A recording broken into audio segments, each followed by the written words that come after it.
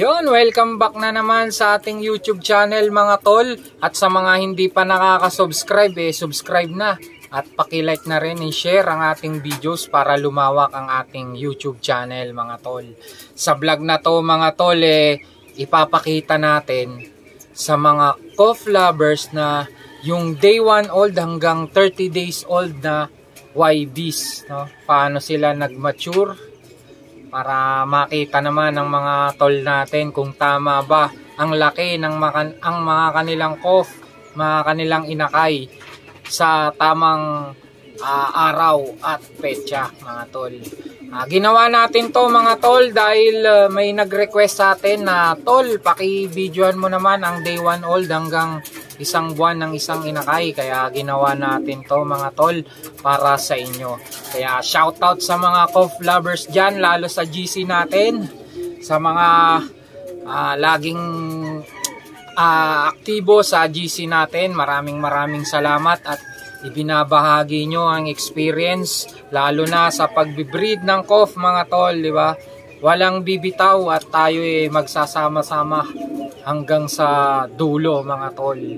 Maraming maraming salamat sa mga uh, tropa dyan na laging umaantabi sa ating vlog mga tol. Uh, mga tol, maraming maraming salamat. At eto na, ipapakita na natin mga tol. Ayun mga tol, may nag-request sa atin na uh, i-vlog natin ang isang day 1 old na cough hanggang sa 30 days niya eh may nagpisa na mga tol kaya i-vlog natin sakto gabi paggabi teka lang at yan yan ang itsura mga tol ng day 1 old yan. Anay natin. Yan. Yan mga tol. Yan.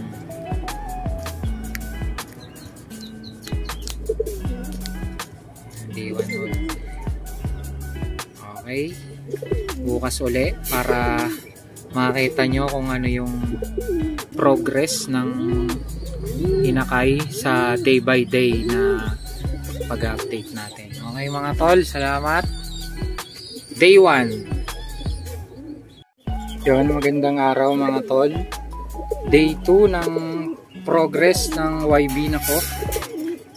Ayan na mga tol. Ganyan sila kalaki. Day 2 po tayo.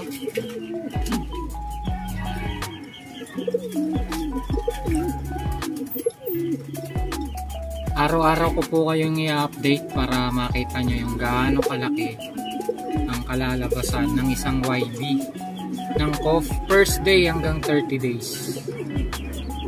Ay mga tol hanggang dito na lang tayo sa araw na to. Second day.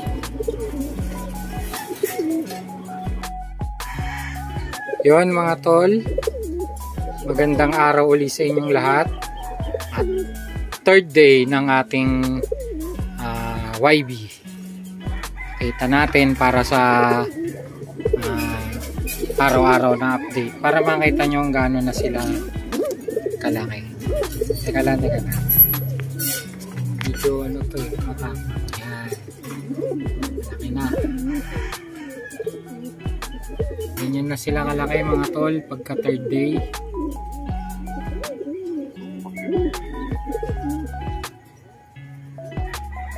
Ay malulusog eto dalawa pala mga tol no? Hindi mga marunong magbuhay yan. Ang ginagawa natin tinutulungan nating mag uh, bigay ng gatas sa inakay.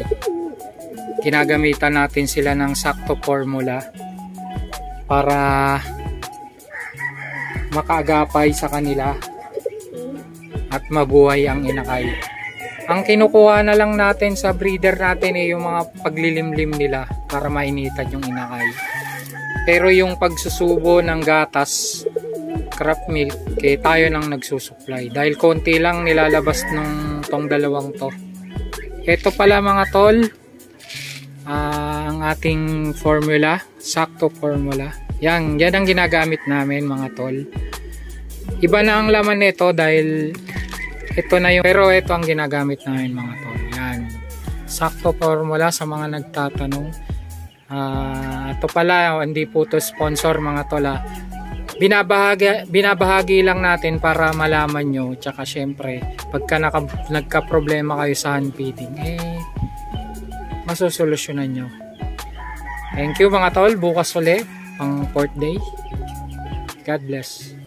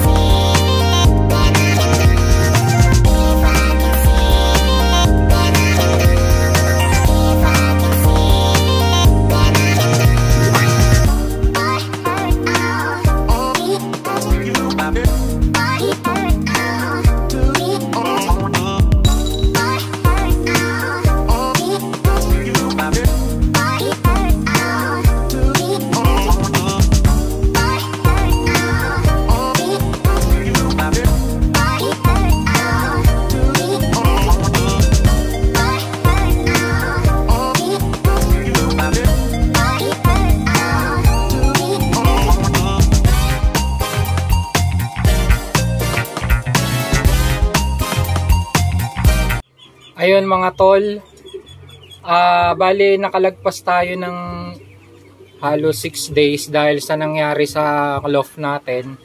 Kaya yung laktaw ng sanang binibidyo natin na first day ng COF hanggang mag-isang buwan sila, nakalaktaw tayo ng 6 days. Kaya pagpasensyahin nyo na po dahil nagkaroon kami ng problema. Pero patuloy pa natin mga tol. Thank you. Sorry, I feel no attraction, and now that it's been. Cause I've been so long, so long.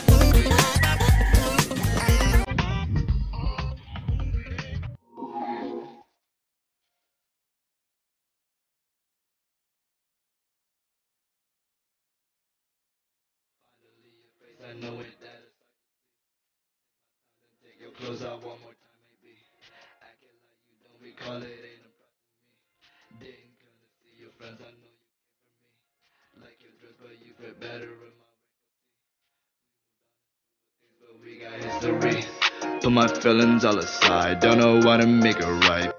At ayun na mga tol, pinakita na natin ang cough natin mula day 1 hanggang 30 days old na cough. Maraming salamat, sana'y nasihan kayo sa ating munting vlog.